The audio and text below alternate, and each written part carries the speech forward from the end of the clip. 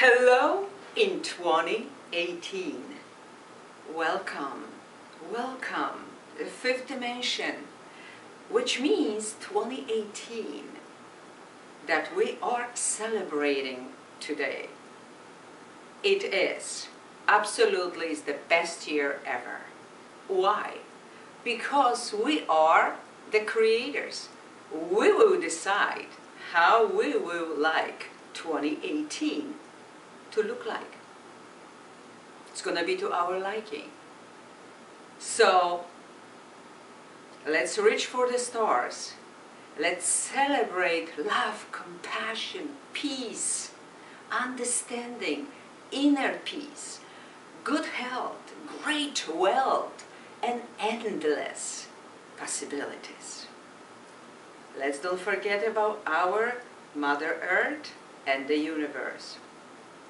Happy New